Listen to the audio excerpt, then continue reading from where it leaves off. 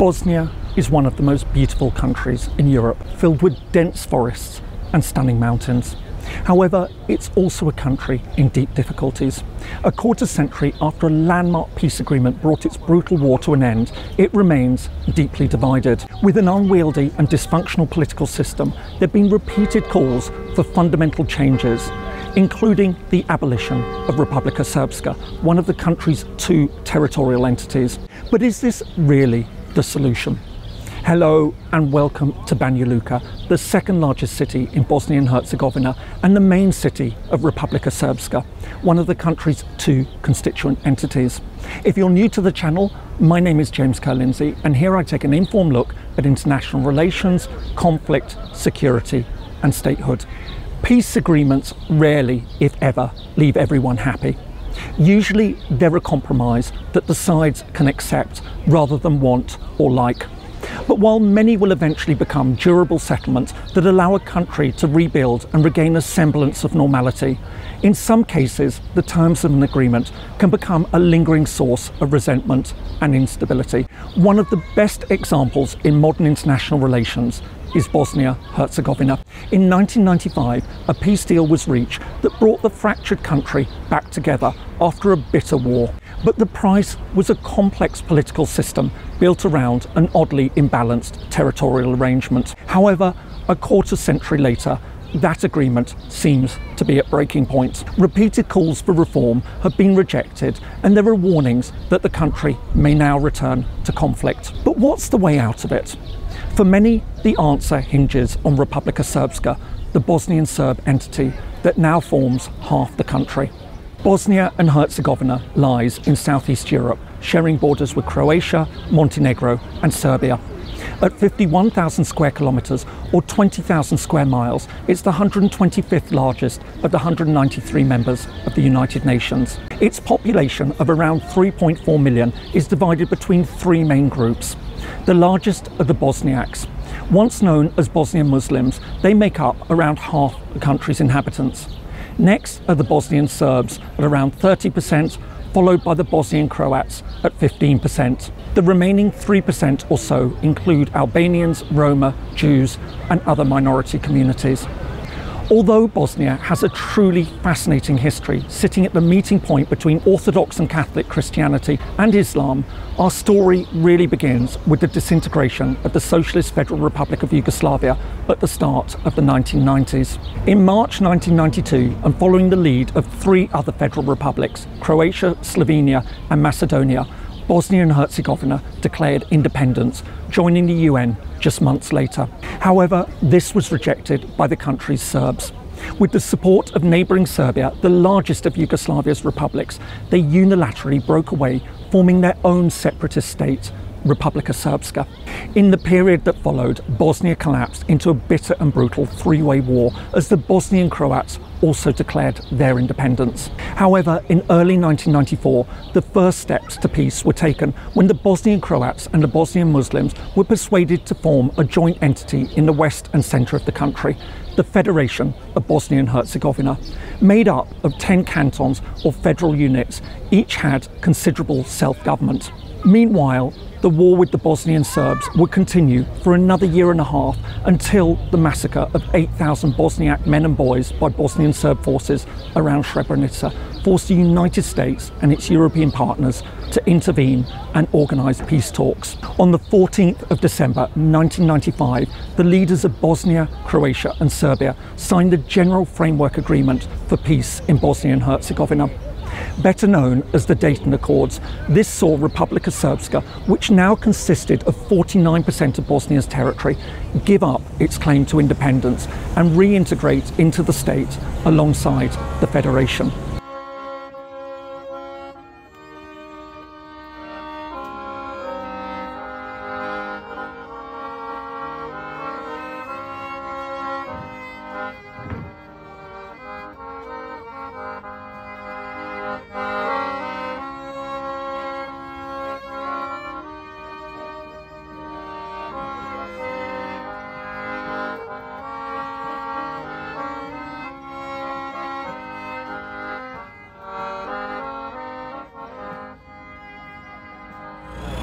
Under the agreement, almost all day to day issues were handled by the entities.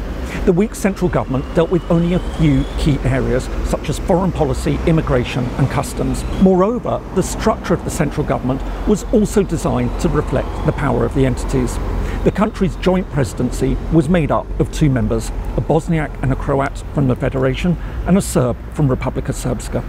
And the Council of Ministers was also divided on a two to one ratio between the Federation and Republika Srpska.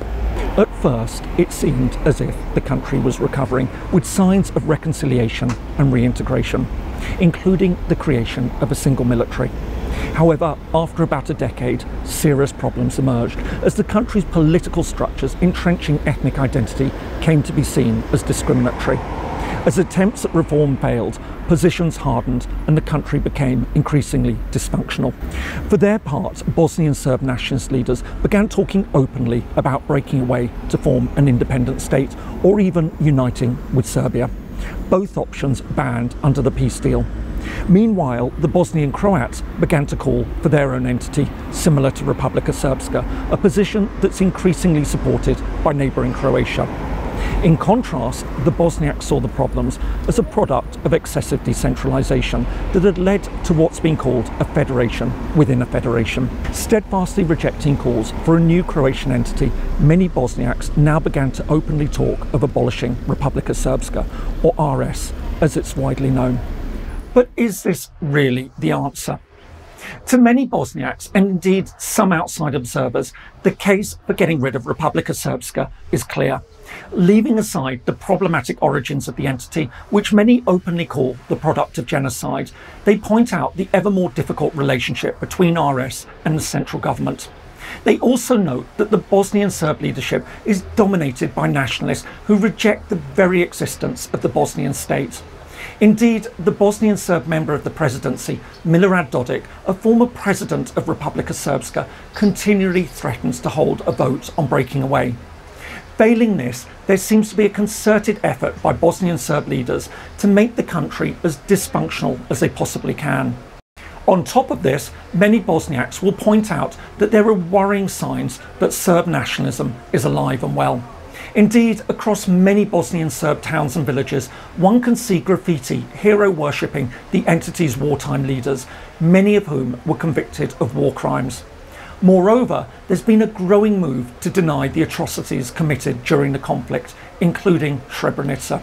As they see it, Bosniaks believe that RS entrenches the nationalism of the past and is holding the country back. Of course, Bosnian Serbs paint a very different picture.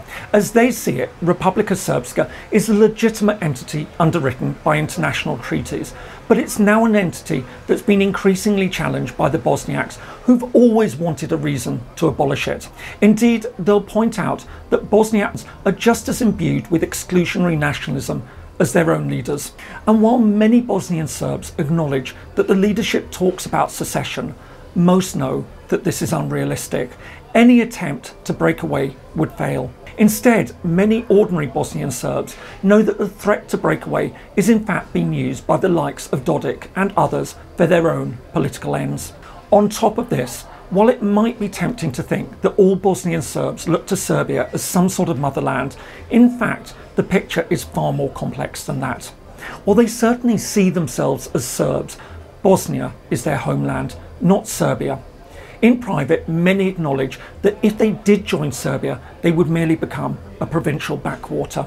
As for the veneration of war criminals, many will point out that this is really something that's held on to by a relatively small section of nationalists. It certainly doesn't mean that the wider community wants to see a return to conflict. As one person put it, the war was recent enough for most people to know that a return to fighting certainly isn't the answer. So, is abolishing RS the answer? First of all, it's clear that Bosnia does in fact need reform. This is a country where the system of governance has been judged to be contrary to basic human rights. Not only that, but the inability to introduce reforms is affecting the lives of ordinary people. It's a country that feels like it's stagnating. Perhaps most importantly, this failure to reform is preventing Bosnia from pursuing EU membership, which in turn will be an important driver for change. But again, could this be remedied by getting rid of RS? In truth, the answer would seem to be no, or at least not for the foreseeable future. As difficult as it is for many Bosniaks to hear, RS as an entity isn't the problem that many present it as being. There are many countries with highly devolved political entities. In fact, if we're to be completely honest, RS is more functional as a single entity than the federation made up of its various units. More to the point, there's simply no feasible way for it to happen, and certainly not without a return to conflict. Even if the Bosnian Serbs don't want more war, they're simply not going to give up territorial control. And there's no international support for such an idea. Foreign diplomats are quick to point out that RS is here to stay. But we also need to recognise that the way that RS has evolved as an ethno national entity entrenches many of the problems that Bosnia faces. It provides an important lightning rod for nationalist politicians on both sides or all sides to energise their communities, and this becomes a destabilising vicious circle. As Bosnian Serbs talk about breaking away, Bosniaks respond by getting rid of RS, which in turn reinforces the Bosnian Serb message that secession has got to be their way out, and so on and so forth. In this sense, one gets the real feeling that abolishing RS isn't the panacea that many seem to think it is. Instead, the very first step towards any fundamental reform must be focused on moving away from the nationalist leaders' talking points. To do this, Bosniaks and Bosnian Serbs need to come to terms with two key principles. That Bosnia Herzegovina is a single indivisible state that's here to stay, and that RS is an entity that makes up that state. In other words, Bosnian Serbs need to stop questioning the territorial integrity of the Bosnian state, and Bosniaks need to stop questioning the legitimacy of Republika Srpska. Perhaps then the country may get to a situation where the sides truly trust each other enough that a more fundamental change can eventually be realised. But even then, it will inevitably have to be built on compromise. The question is what sort of compromise rearrangements the sides would be willing to accept, and what sort of arrangements they'd be willing to accept that this time would build the foundations for a sustainable future state of Bosnia Herzegovina.